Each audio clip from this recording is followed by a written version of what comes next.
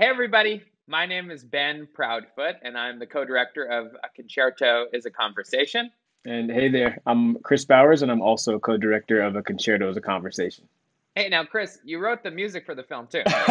yeah, yeah, that too as well, I and, guess. and you're in the film. yeah, yeah. And yeah. you wrote the music that the film's about. Yeah, a couple other things as well.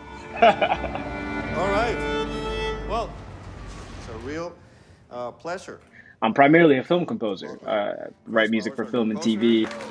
Who has written a concerto? uh, approached me about possibly filming a part of my process to write a violin concerto. Can you tell me just what is a concerto?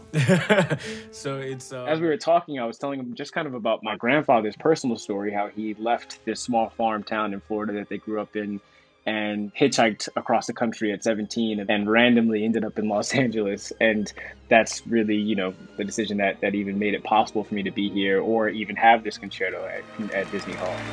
And Ben felt like that was the thing that was most exciting.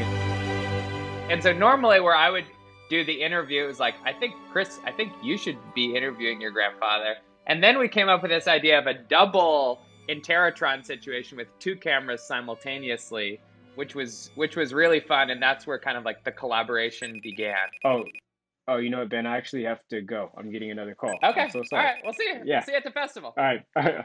See you at Sundance, man. Thanks. Granddaddy, how's it going?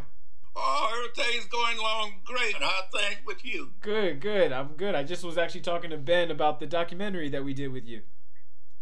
Oh yeah. Uh, that's, tell me about it. What you done?